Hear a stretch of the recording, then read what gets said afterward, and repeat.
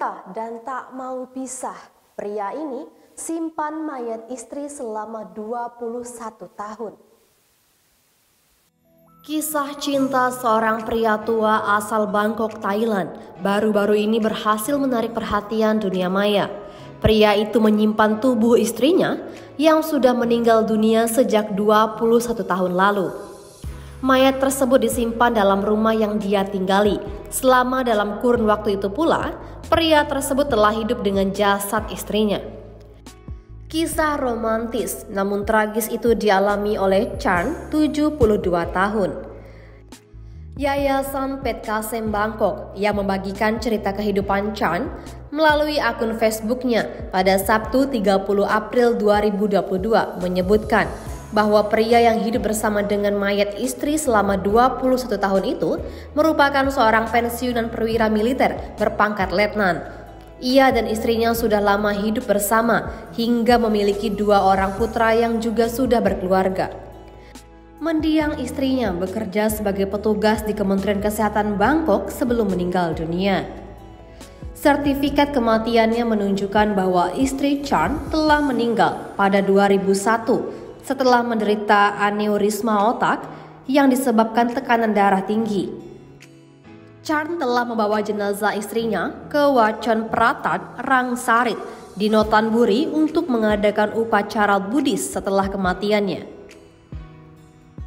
Namun ketika para biksu bertanya apakah Chan ingin mengkremasi jenazah istrinya, ia menolak dan berkata tidak dapat menerima situasi ini. Ia kemudian membawa peti mati berisi istrinya itu ke rumahnya di distrik Bangken, Bangkok. Di sinilah Chan menjaga mayat istrinya selama 21 tahun. Pada siang hari, ia beristirahat dengan kucing dan anjingnya di sebuah ruang kecil di samping rumah. Pada malam hari, dia tidur di samping peti mati istrinya di sebuah ruangan yang dulunya adalah tempat penyimpanan. Adapun alasan Chan tidak bisa merelakan tubuh istrinya di rumah lantaran dia sangat mencintai belahan jiwanya itu dan tidak ingin berpisah. Sampai-sampai karena tak kuat menahan rindu, Chan mengaku setiap hari dia mengajak peti mati berisi mayat istrinya itu berbicara, seolah-olah merasa istrinya tersebut masih hidup. Dia juga mengatakan berniat untuk tinggal bersama mayatnya sampai dia meninggal. Namun pria Thailand itu akhirnya menyadari tidak akan ada orang yang mengadakan pemakaman yang layak untuk istrinya apabila dia telah tiada pada 29 April 2022 lalu. Chan akhirnya memutuskan meminta bantuan Yayasan Pet Kasem Bangkok untuk memberikan peristirahatan terakhir pada istrinya. Kabar tersebut membuat perwakilan yayasan tadi kaget. Mereka sama sekali tidak tahu tentang keberadaan mayat istri Chan di rumahnya.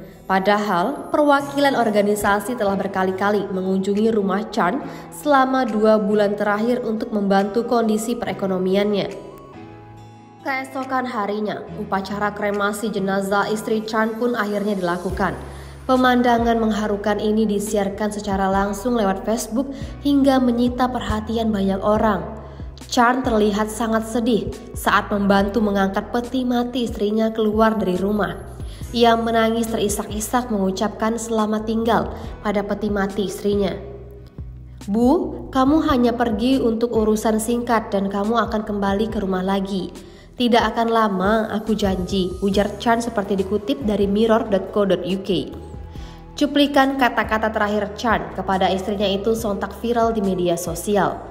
Sesuai janjinya, pada hari berikutnya dia mengumpulkan sisa-sisa kremasi dan meletakkannya di kain putih dan membawanya pulang untuk ditempatkan di ruangan yang sama yang kini telah dibersihkan dan diperbaiki.